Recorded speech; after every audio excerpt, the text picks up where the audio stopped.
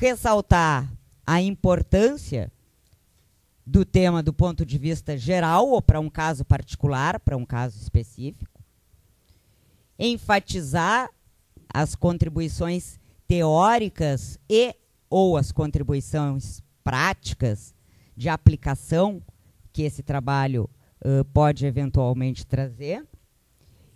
Enfocar as possíveis soluções, modificações ou alternativas a serem oferecidas a partir, né, de, a gente faz um trabalho muitas vezes que tem em si a possibilidade de alterar determinado contexto.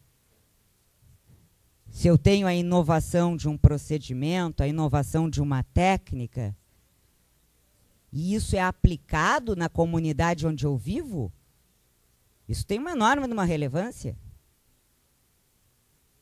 A gente não faz pesquisa para escrever um texto que vai ficar pendurado lá na biblioteca. Ainda bem, né?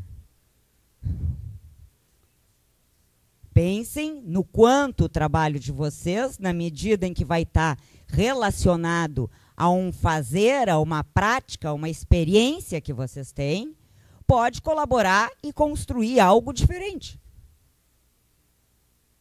Nós vamos voltar a isso, porque aí é uma responsabilidade social que eu quero falar no final. Objetivos. Eu já tinha comentado, na, na outra lâmina já estava escrito, que os objetivos se dividem em objetivo geral e objetivos específicos. Os objetivos específicos, ah, quantos, quantos tem que ser? Quantos tem que ser? Mais ou menos assim. Quantas páginas, tia? Não, e a fonte é 10 ou é 12? Quantos tem que ser? Tantos quantos forem necessários para que vocês tenham definido não no papel, mas na cabeça de vocês tudo aquilo que vocês vão ter que cumprir para chegar lá. Para chegar lá onde? Chegar lá no objetivo geral. Em geral, eles são em torno de 3, 5. Ah, então eu botei ali de 3 a 5. Só para responder a pergunta do quantas páginas. Tá? Então, os objetivos, uh, o objetivo geral tem um caráter geral e abrangente. Explicita uma ação relacionada ao tema. Objetivos específicos, então, têm um caráter mais concreto, correspondendo a desdobramentos, ou seja, a etapas ou a instrumentalização do objetivo geral. Aí a ordem é indiferente. Tem gente que consegue, tem dificuldade de fazer o objetivo geral, aí vai fazendo os específicos. Depois que fez os específicos, ah, então o geral é esse. É. Ou então faz o geral e depois fatia. E chega nos específicos. Como é, qual é a ordem, se vai do menor para o maior, do maior para o menor, isso depende de cada um. Nem tudo na vida tem fórmula. Aliás, a maior parte das coisas na vida não tem fórmula, vocês sabem isso tanto quanto eu. Quais são os verbos para a elaboração de objetivos? Vamos pensar na finalidade, o que, que eu quero na minha pesquisa, e vamos pensar em quais os verbos possíveis. Então, se o que eu quero com a minha pesquisa é conhecer, os meus objetivos vão ser do tipo apontar os fatores, apontar os benefícios, citar, identificar, classificar, definir, descrever, reconhecer, relatar. Se o objetivo, a finalidade da minha pesquisa for compreender, compreender, concluir, deduzir, vocês veem que está em negrito ali o verbo principal, né, que, que aparece lá na coluna da esquerda.